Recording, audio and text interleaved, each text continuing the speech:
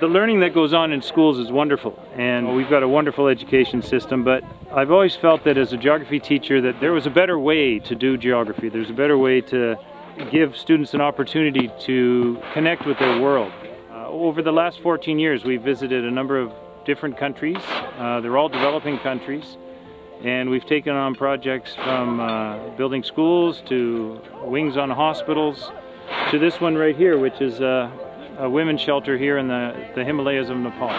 Global has always tried to make sure that, that the projects are real, that they are going to make a difference in the lives of people. And uh, so we've, we've made every attempt to come back to visit uh, projects. So this project here was started last year by last year's group. Uh, but the interesting thing is that this year's group actually helped in fundraising for this project and last year's project as well. So they've got a two-year connection with this, this project and they're going to see it to completion this year. So that's going to be quite exciting. So this, this project, this farm project for abused women was something that my wife had been advocating for for years. And I'd had to keep telling her, we simply don't have the money to do it because we're a small nonprofit organization. And it's a big financial commitment.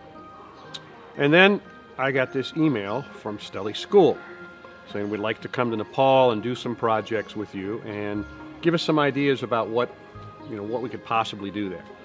And I shot back a few what I'll call more typical uh, volunteer projects, and the response came back that, yeah, those are kind of, you know, also ran, been there, done that kind of project.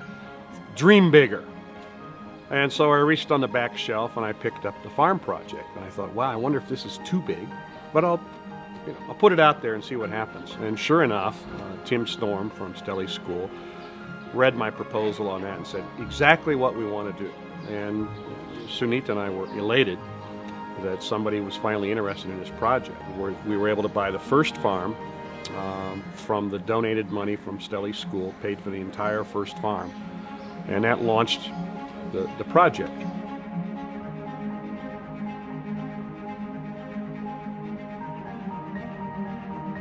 We call it Her Farm. We've given it its own logo, its own branding, and its own slogan. Uh, which is growing hope in the Himalayas. But to those of us here at the Mountain Fund, it's always going to be Stelly's farm. I mean, you know, Stelly's has been the driving force behind this place. If not for Stelly's, it simply wouldn't exist. Um, and so to us, it's always going to be Stelly's farm.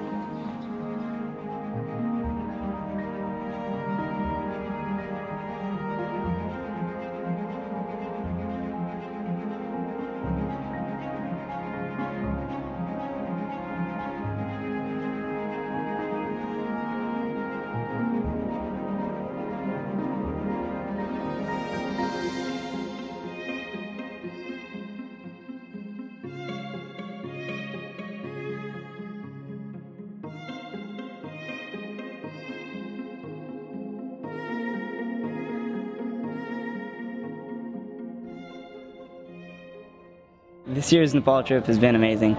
It's really opened my eyes to the amount of opportunities we have back home as compared to the, Nepali people and the struggles they go through every day. And we should really respect the privileges we have living back in Canada. From the start of this trip, we got to learn all the different religions, the different cultures, um, but by the end of the trip, right now, I find myself thinking I know more about myself than I could have done all the years I've been going to school. Uh, the reason I took Global Perspectives was uh, to have an opportunity to make uh, make my mother proud, who uh, who unfortunately passed away a couple of years ago, and uh, having been on this trip, I feel as if I would have done that, which is an incredible opportunity.